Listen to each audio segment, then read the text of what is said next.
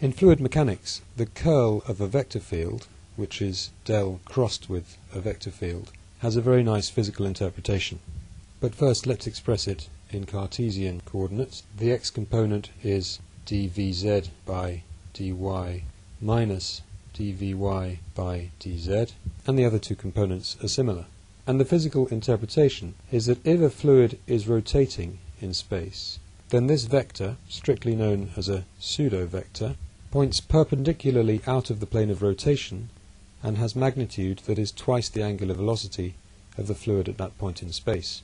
This is known as the vorticity vector.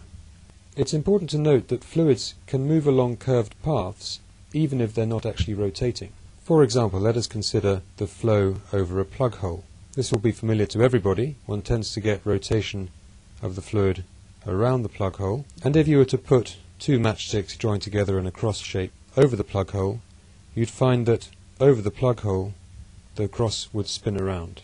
Now in this region here, the fluid is spinning quickly, there's high shear, the viscous forces are strong, and the fluid has non-zero vorticity.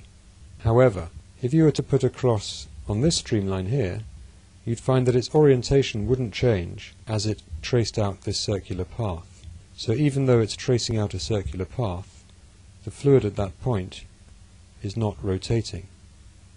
It has no vorticity.